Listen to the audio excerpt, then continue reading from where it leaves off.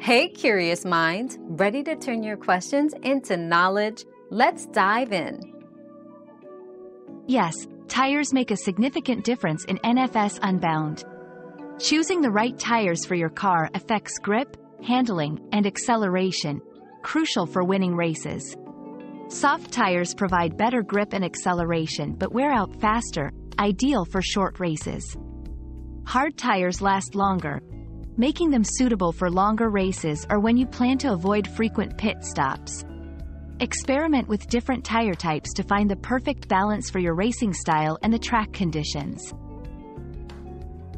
Another mystery solved, but many more await. Keep up with our daily discoveries by subscribing and turning on notifications.